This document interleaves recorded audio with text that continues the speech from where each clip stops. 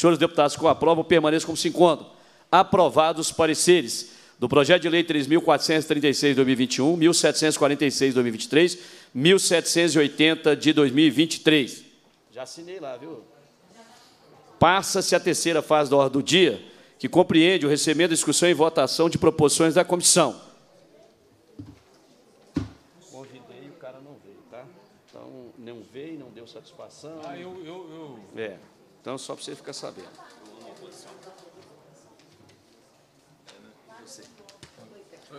Presidência. Olha o que o cara vai fazer comigo. Presidência passa. Na convocação do comandante geral.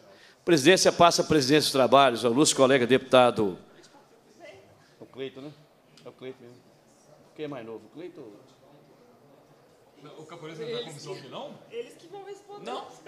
O Capoeira é mais velho que eu, pô. Dá para ver na, na, cara assim, ó.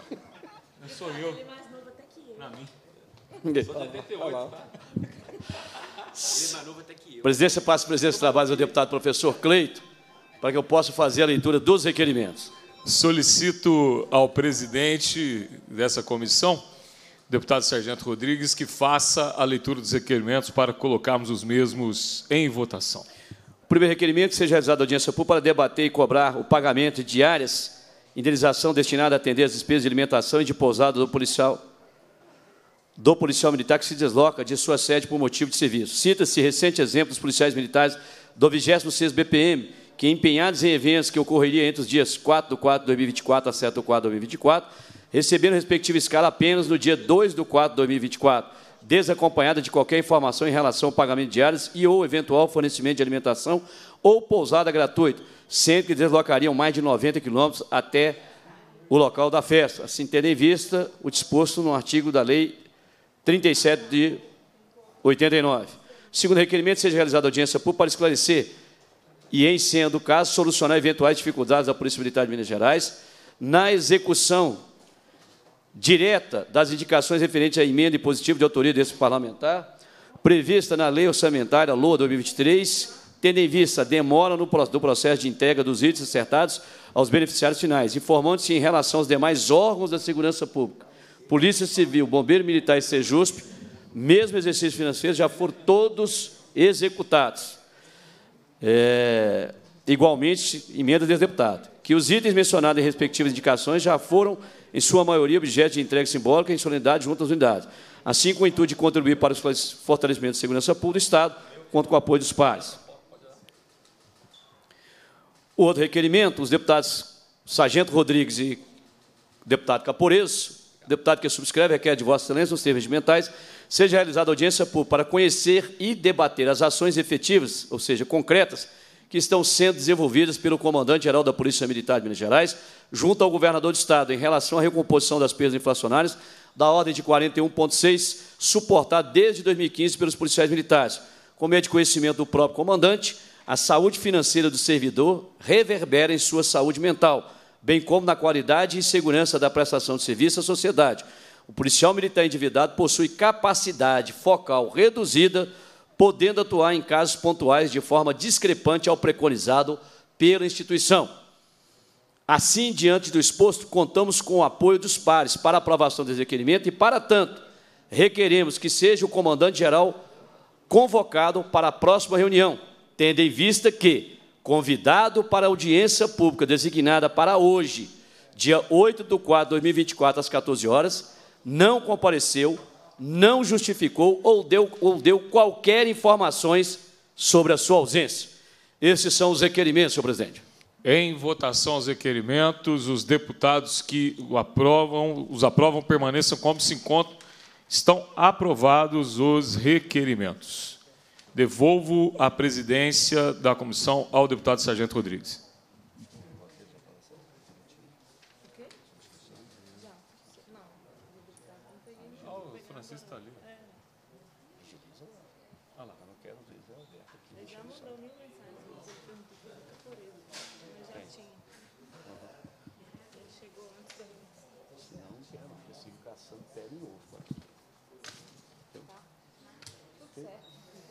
Liberado? Liberado. Falei tá. você. Tinha encerrado. Ô, ô, ô, retorna. Retorna a presidência. Devolveu? Presidência. Agradece a presença do nosso colega deputado professor Cleito, é, presença com a qual nós podemos contar o quórum para a continuidade e a aprovação dos requerimentos. Eu quero registrar e agradecer com enorme satisfação a presença do ilustre deputado federal, deputado Júnior Amaral, que também se faz presente nessa audiência pública e aguardava que a presença do comandante-geral da Polícia Militar pudesse vir aqui trazer os devidos esclarecimentos à Comissão de Segurança Pública. É, eu quero aqui, deputado Júnior Amaral, dizer a Vossa Excelência, Vossa Excelência nos honra com a sua presença, e certamente Vossa Excelência, que esteve juntamente com o deputado Caporeso e esse deputado, por diversas vezes em reunião com o governo, seja em reunião com a CEPLAG, posteriormente com o secretário de governo, com o líder de governo junto, até então não era líder de governo, o deputado Gustavo Alada, aliás, não era secretário de governo, mas com o secretário Igor Eto, a secretária Luísa Barreto e o líder de governo na época, o deputado Gustavo Valadares. Estávamos juntos quando Vossa Excelência também fez diversas cobranças, assim como o deputado Caporeso, e este parlamentar em relação à recomposição das perdas inflacionárias. Naquele momento, nós, inclusive, prevíamos uma reação até mais forte, quando se anunciava que a educação teria 12,84 e zero para a segurança pública. Vossa Excelência lembra muito bem daquela fatídica reunião.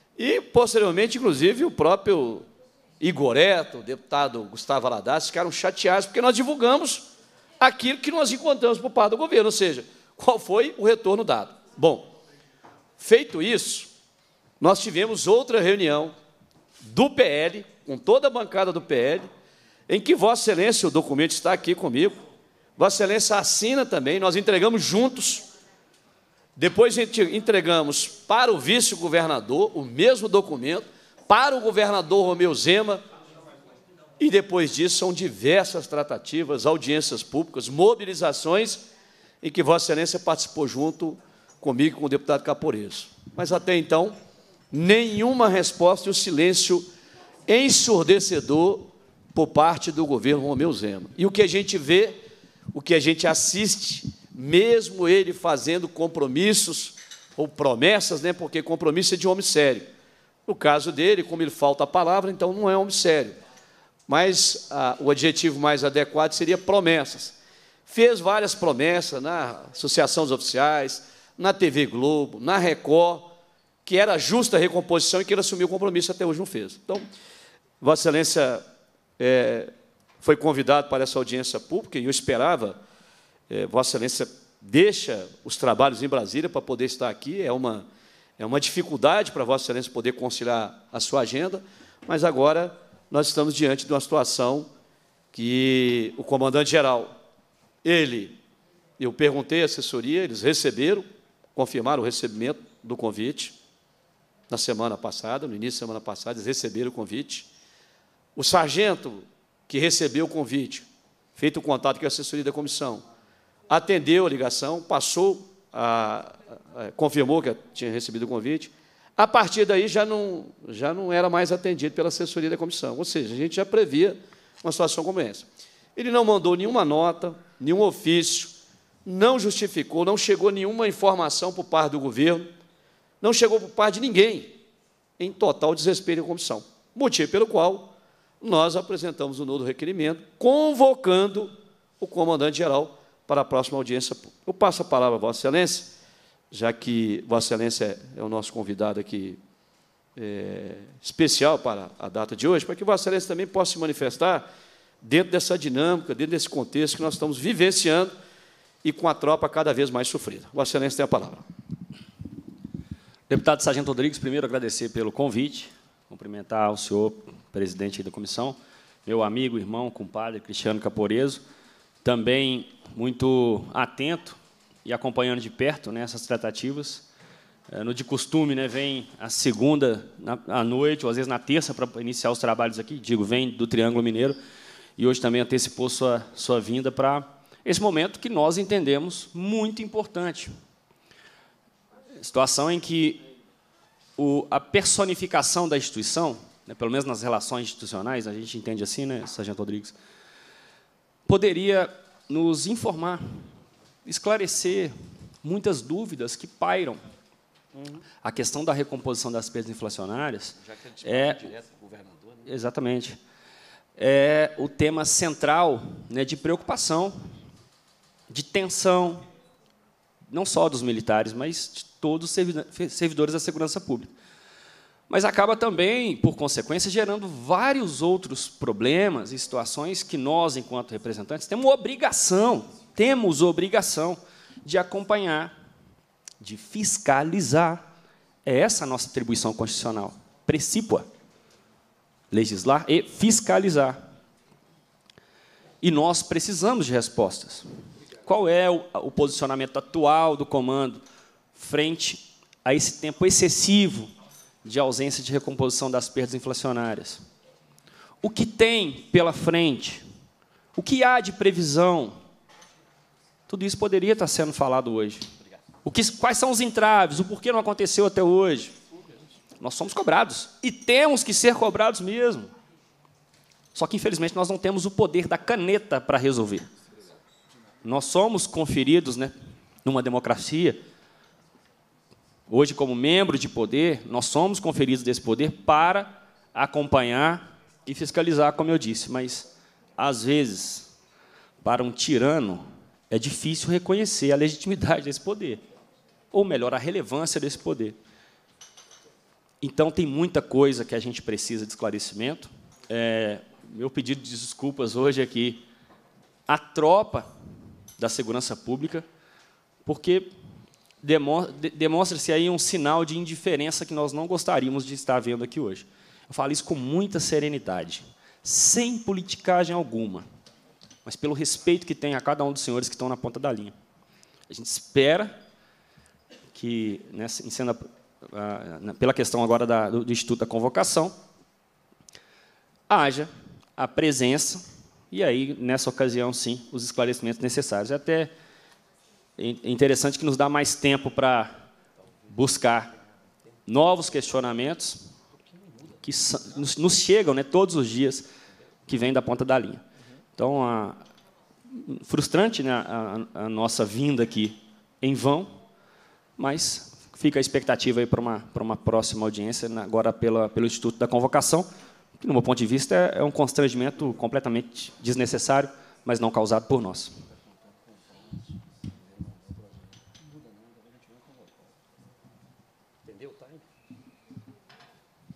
Presidência agradece as falas do deputado federal Júnior Amaral. Passa a palavra ao ilustre colega deputado, deputado Cristiano Caporeso. Vossa Excelência tem a palavra. Boa tarde, presidente, Sargento Rodrigues. Saúdo aqui deputado federal Júnior Amaral, meu compadre, uma pessoa que tem feito um trabalho impressionante, muito bom em Brasília e que veio hoje aqui né, para poder participar dessa audiência que é tão importante. Também vieram diversos membros de associações representativas de classe e ficaram a ver navios. É, nós convidamos o comandante-geral e esse não veio, não enviou nenhuma justificativa, não deu sequer uma palavra, não mandou um emissário, nada, simplesmente não comparece. Por quê? Por que será que ele não veio?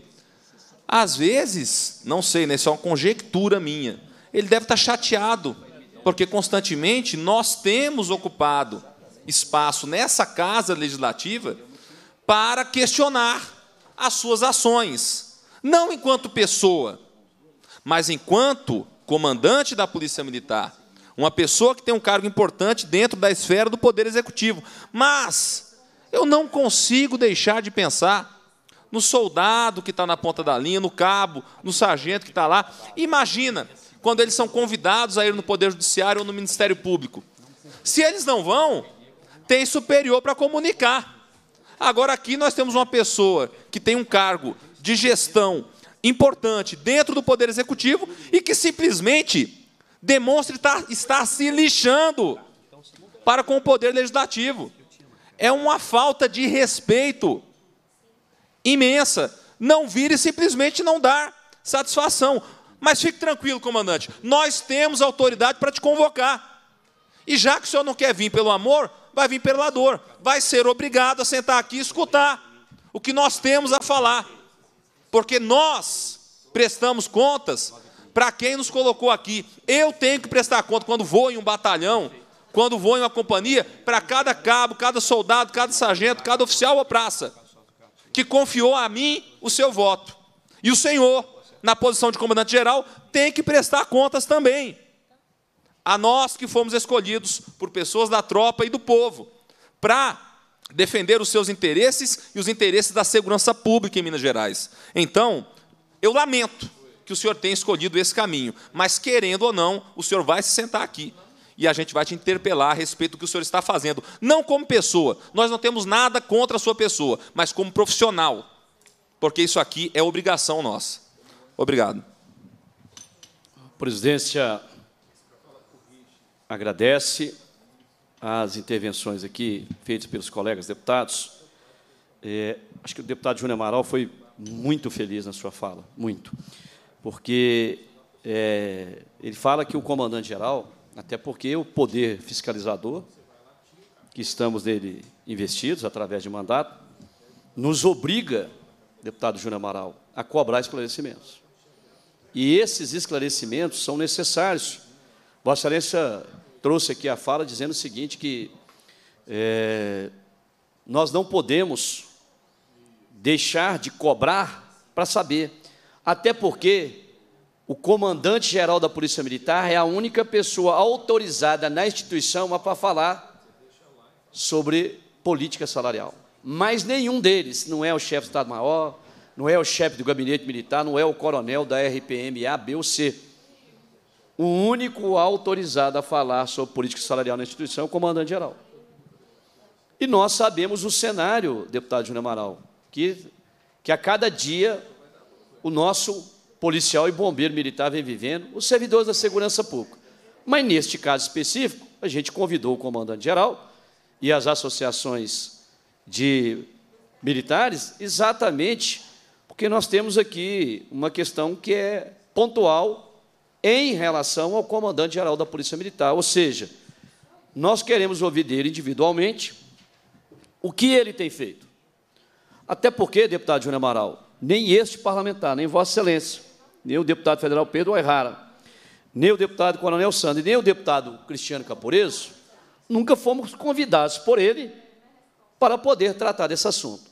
Então, aqueles que estão nos ouvindo pela TV Assembleia, mas aqui diretamente aos policiais militares de Minas Gerais, é, mesmo a classe tendo dois deputados federais, repito, mesmo a classe tendo dois deputados federais oriundos dos quadros da Polícia Militar e do Bombeiro Militar, como o deputado federal que está presente aqui, o deputado Júnior Amaral, e o deputado federal Pedro Arrara, e três deputados estaduais, inclusive que participaram efetivamente das tratativas com o governo, conforme está aqui na documentação com ofício entregue ao governador, com ofício entregues em reunião com o vice-governador, com a secretária de planejamento, com o secretário de governo, com o líder de governo, ou seja, mesmo nós tendo todas essas tratativas, o comandante-geral da Polícia Militar não nos convidou para qualquer fala para tratar disso. Então, você que é policial militar, que está nos ouvindo nesse momento, o atual comandante-geral da Polícia Militar, o coronel Rodrigo Piastro,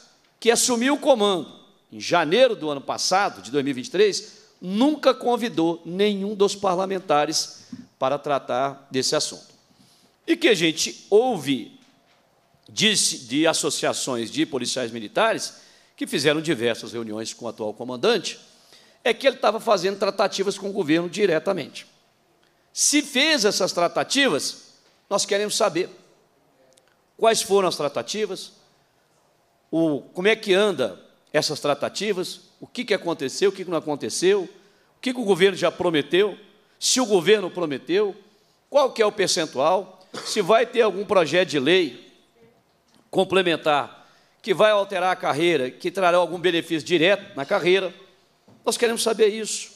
Por isso, o nosso papel, é, nesse momento, é de fundamental importância que a gente faça. Agora, é óbvio, o comandante-geral foi convidado na forma regimental. Ele não compareceu, não informou, por que não compareceu, não justificou, não deu qualquer informação, porque ele não viria na audiência. Motivo pelo qual nós aprovamos um novo requerimento com a convocação devidamente observando aquilo que prescreve o nosso regimento interno.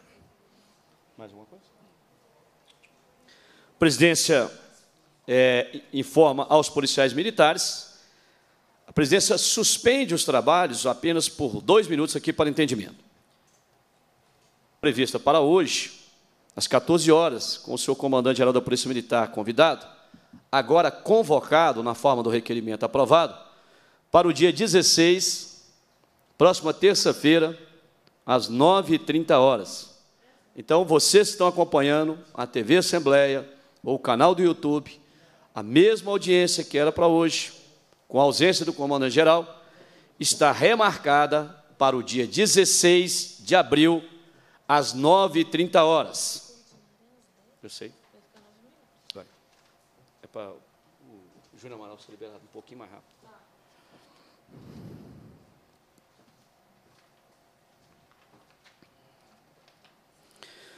Cumprida a finalidade da reunião, a presidência agradece a presença do ilustre deputado federal Júnior Amaral, do ilustre colega deputado Cristiano Caporeso, dos convidados, do público presente, convoca os membros para a próxima reunião ordinária e extraordinária de amanhã, determina a lavatura da ata e encerra os trabalhos. Muito obrigado.